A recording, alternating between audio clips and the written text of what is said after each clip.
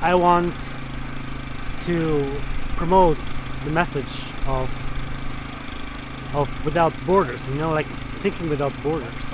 Like we are no countries. We are people. I mean, we should be all connected together.